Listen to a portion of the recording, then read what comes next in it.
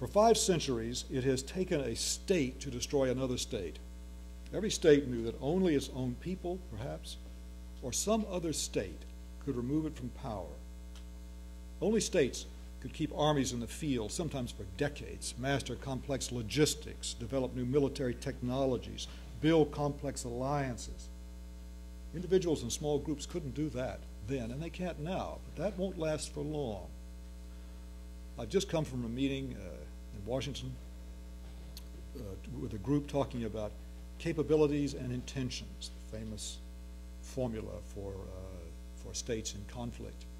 And I heard a wonderful paper by a, by a young professor on how to assess capabilities. Uh, and I said at the end of it, uh, it, it, it's a beautifully done paper, but it, it will soon be completely irrelevant.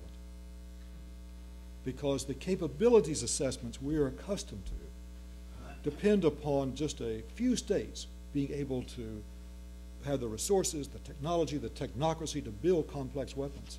And that is rapidly changing. In rooms no larger than these rooms, and with many fewer people than are at this meeting, we'll be able to develop quite lethal weapons, biological weapons.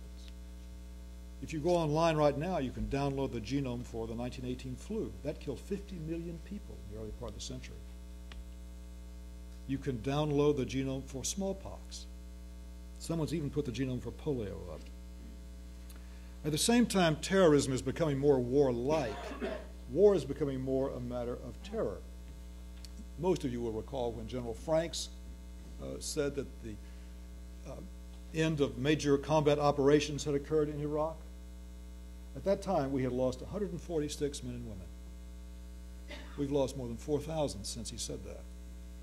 But was he, was he lying to us? No, he wasn't lying. He really believed it because he had a certain picture of warfare, a warfare that uh, could be summed up as you uh, occupy the enemy territory, you remove its political leadership, you capture its capital, the enemy army surrenders and disbands, it's over, right?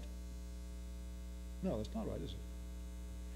That's a picture of warfare that uh, is more characteristic of 20th century warfare than of 21st century warfare.